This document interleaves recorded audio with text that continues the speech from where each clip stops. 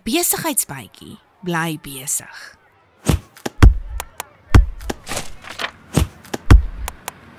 Hoor jy die besige klanke van 'n besigheidsbytjie?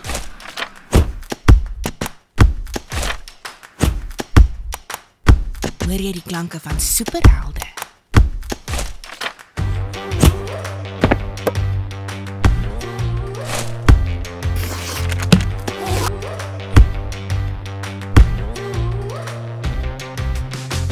Dagdroom jy soms oor superhelde en hoe jy as jong entrepreneur 'n superheld kan wees?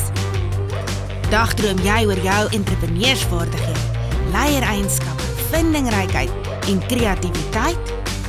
Dagdroom jy oor jou eie besigheid of om eendag 'n direkteur van 'n groot maatskappy of selfs die president van die land te word?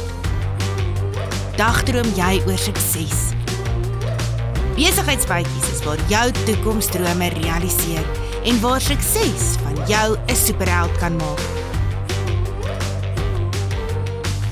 Skryf vandag in vir besigheidsbytjies by www.besigheidsbytjies.co.za en kom maak jou drome 'n realiteit.